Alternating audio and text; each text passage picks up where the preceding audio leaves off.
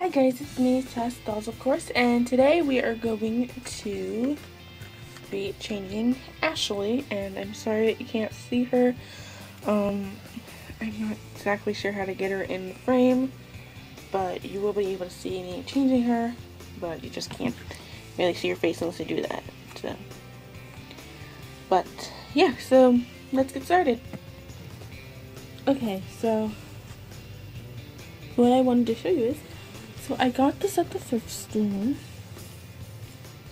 It's a newer dress, and it's Build-A-Bear, and it's like pink and sparkle, and that's what we're gonna put on her. And then I picked out um, this collar to put on her, or necklace. And they thought it was pretty. She usually always wears a collar. I just have been forgetting to put those on her. And then I'm gonna brush her first. So yeah, let's get her dressed. I already got her undressed off camera. So yeah, let's just get her dressed.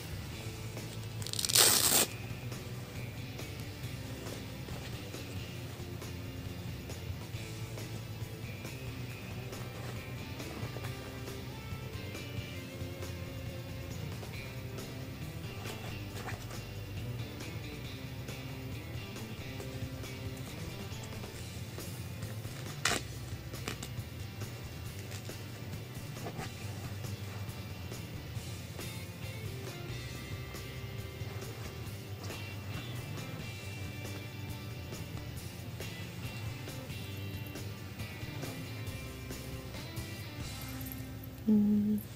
Now let's put her collar on.